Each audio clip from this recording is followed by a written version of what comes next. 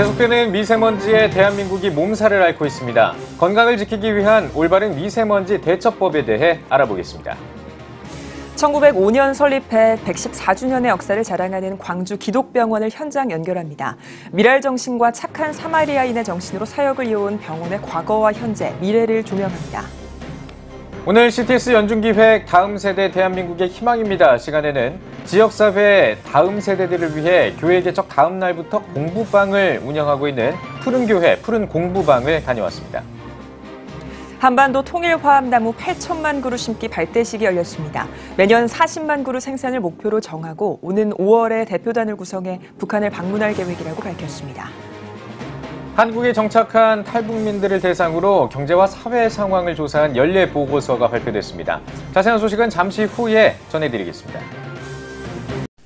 오직 복음, 오직 믿음. CTS